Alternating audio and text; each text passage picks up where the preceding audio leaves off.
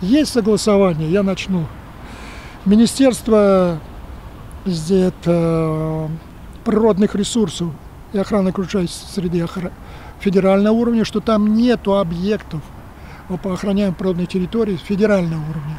Есть же согласование, что там нет объектов по и лесов, таких категорий, которые нельзя разработать. Нашего Минсельхоза.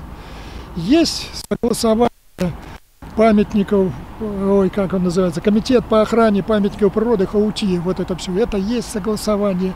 Есть согласование ФСБ, что там недозволено, ничего нет, можно проводить. Есть согласование Минобороны. В принципе, я думаю, в ближайшее время этот вопрос он будет решен, выставлен на аукцион. Вот то, что жители сейчас говорят, как будут выбросы, но можно это все дело просмотреть, все это будет решаться на стадии так сказать, большого проекта. Когда будет... Есть проектная организация, грамотные, которые все этим занимаются, проектируют цементной промышленности. Есть они в Саратове, есть в Москве, э, все. И сейчас вот я понимаю их озаба- озабоченность и все, потому что есть там плохие примеры по Ульяновскому цемзаводу, да, по Сингелеевскому, но в Боне на окраине города стоит цементный завод.